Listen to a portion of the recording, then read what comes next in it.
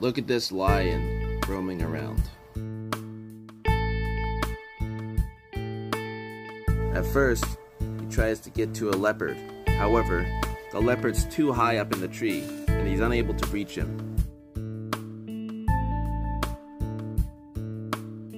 So he keeps going until he encounters a hyena, who's eating a meal already. The two stare down each other until the hyena decides to make a move and run away, letting the lion take their food. The lion looks around to make sure there's no one else who might want to take the food from him. He then decides to go on and try and carry it all the way towards his family.